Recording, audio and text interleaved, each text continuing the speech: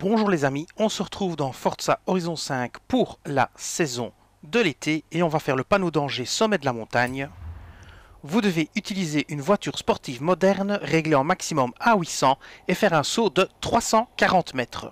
Comme voiture, j'ai choisi la Toyota GR Supra de 2020 qui coûte 55 000 crédits au salon de l'auto si vous ne l'avez pas, avec le réglage A800 multi et le code 1 1 5 0 0 8 5 1 8 1 1 5 0 0 8 5 1 8.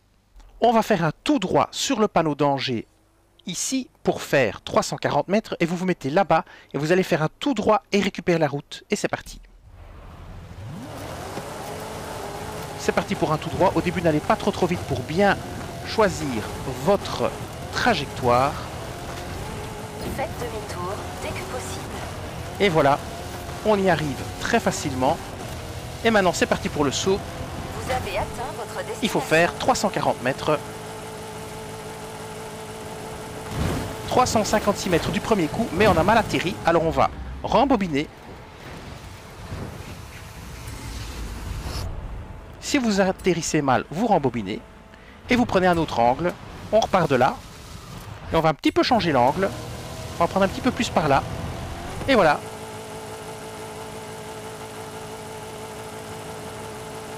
« 347 mètres. Et cette fois-ci, elle atterrit bien. Et si elle atterrit de nouveau mal, eh bien, vous rembobinez de nouveau. C'est une petite astuce. Ça peut servir. C'est dommage de recommencer et de perdre du temps. Et voilà, c'est terminé. On vient de finir le panneau danger sommet de la montagne. Je vous dis merci et à bientôt pour d'autres vidéos sur Forza Horizon 5.